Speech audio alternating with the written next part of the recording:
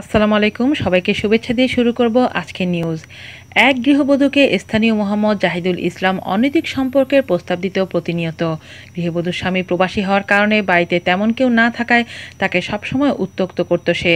অনৈতিক প্রস্তাবে রাজি না হয় কৌশলে মোহাম্মদ জাহিদুল ইসলাম তার সহযোগীদের নিয়ে গৃহবধূর বাড়িতে গিয়ে তার আপত্তিকর ভিডিও ধারণ করে। এক পর্যায়ে তারা ওই গৃহবধূকে আপত্তিকর ভিডিও দেখায় এবং ইন্টারনেটে ছড়িয়ে দেওয়ার ভয় দেখিয়ে পাঁচ লাখ টাকা চাঁদা দাবি করে।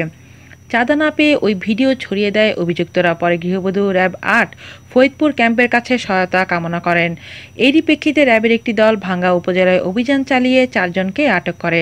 ঘটনা ফরিদপুরে ভাঙ্গা উপজেলার দরিয়ার মাঠ এলাকার। আটকরা হলেন মোহাম্মদ জাহিদুল ইসলাম, মোহাম্মদ জাহিদুল, মোহাম্মদ রিপন মুন্সি ও মোহাম্মদ টিটু শেখকে। বিষয়টি নিশ্চিত করে র্যাব আটের ফরিদপুরের ক্যাম্পের কোম্পানি অধিনায়ক মোহাম্মদ রইসুদ্দিন জানান, গৃহবধূর স্বামী প্রবাসে থাকার সুযোগে আটক বাখাটেরা তার আপত্তিকর ভিডিও ধারণ করে চাঁদা দাবি করে। এই ঘটনায় ওই গৃহবধূ আইনি সহায়তা চাইলে অভিযান চালিয়ে চারজনকে আটক করা হয়।